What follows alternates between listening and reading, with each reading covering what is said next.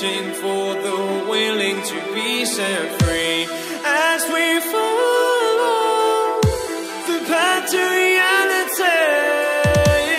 Our minds are searching for the willing to be set free.